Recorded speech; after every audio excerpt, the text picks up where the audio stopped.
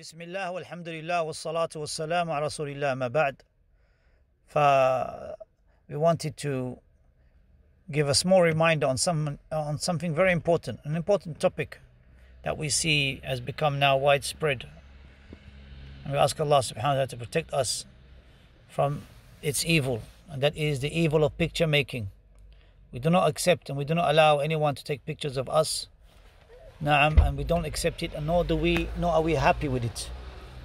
For indeed, the hadith of Abdullah ibn Mas'ud radiallahu anhu, which is clear, the hadith where the, he said, سمعت رسول الله صلى الله عليه وسلم يقول, I heard the Messenger صلى الله عليه وسلم say, إن أشد الناس عذابا يوم القيامة المصورون.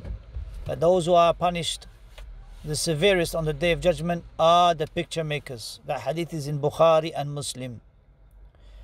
And likewise, the hadith of the Messenger صلى الله عليه وسلم يخرج عنق من النار يوم القيامة لها عينان تبصران.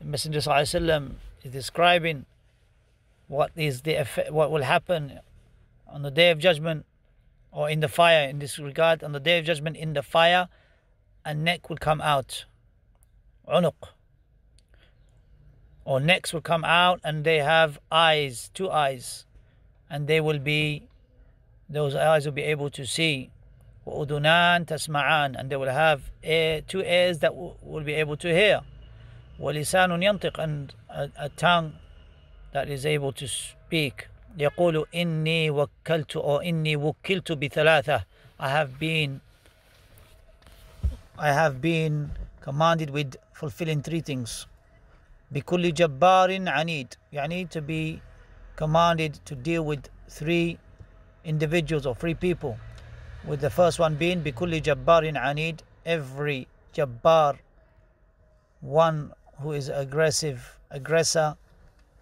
um, uh, disobedient aggressor that is oppressive عنيد that is persistent in his aggression وبكل من دعا مع الله إلها آخر and I have been also commanded to deal with everyone that has supplicated to other, other than Allah subhanahu wa ta'ala and called to other than Allah subhanahu wa ta'ala.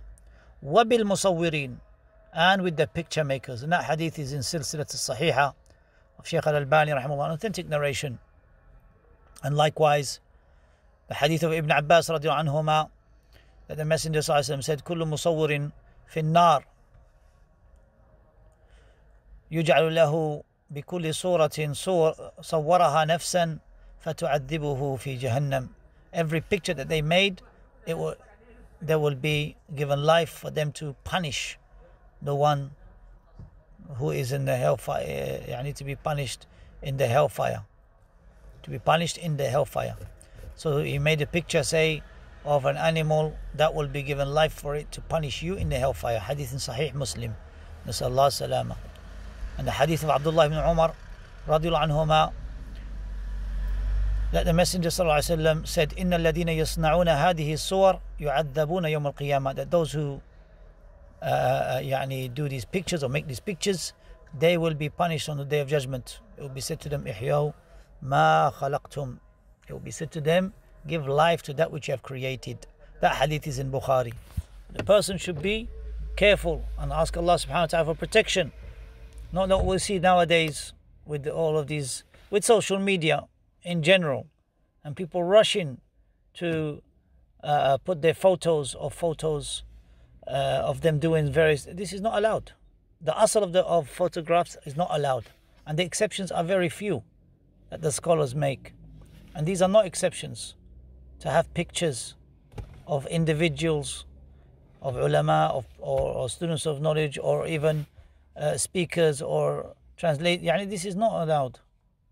So I do not allow I do not allow anyone to take picture of me, even if it is computer uh, generated or whatever. This all of these things we keep away from, inshallah. For the for we are upon Tawheed and Sunnah, and this is not from what we know from our scholars in the past. Barakallahu fikum. So may Allah subhanahu wa ta'ala forgive us our shortcomings. Nah and make us strive to please Allah. None of us are guaranteed anything. Yom al Qiyamah, who's safe from this punish these punishments that I mentioned in these narrations? If you feel safe, Nasallah salama. But none of us are re- in reality are safe. May Allah protect us. Wallahu a'lam wa sallallahu ala khayri khalqi Muhammad wa akhir da'wan alhamdulillah